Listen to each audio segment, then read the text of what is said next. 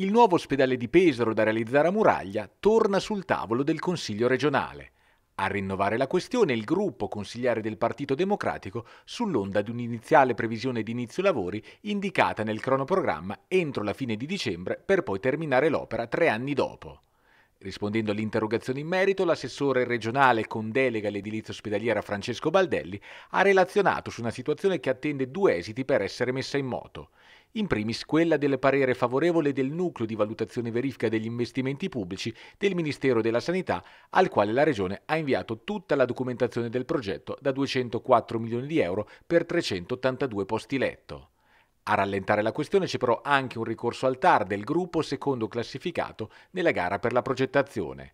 Una procedura che di fatto è già stata aggiudicata in estate ad un raggruppamento di professionisti composta dallo studio Paci Beta di Pesaro, da SD Partner, Politecnica Europa, Architetto Piscitelli Associati, ad Arte e Agroservice. La Regione Marche è quindi pronta a procedere con l'avvio delle lavorazioni e attende soltanto l'esito previsto nei prossimi giorni del ricorso davanti al Tribunale amministrativo promosso dal secondo classificato avverso la procedura di gara della stazione appaltante.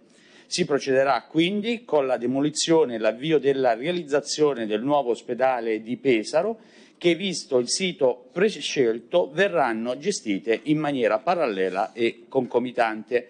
Quindi siamo pronti a dare avvio alla realizzazione non appena ovviamente avremo eh, la decisione del Tribunale amministrativo sui primi due che hanno vinto la gara e hanno presentato un ricorso. Grazie.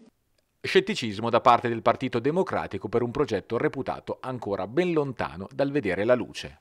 Come farete allora a procedere alla demolizione a procedere alla ricostruzione su tutto il terreno in cui si è ricavato lo spazio necessario entro il 31 dicembre 2024. Cioè, sembra veramente impossibile, a volte nemmeno per costruire una casa si riesce a fare tutto ciò in due mesi, figuriamoci per un ospedale.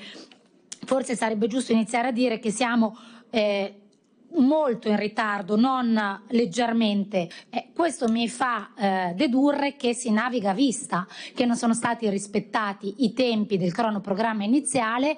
Purtroppo io non vi imputo colpe, ma eh, bisogna anche prendere atto che sull'ospedale di Pesaro eh, ancora siamo in alto mare, non ci sono altre deduzioni.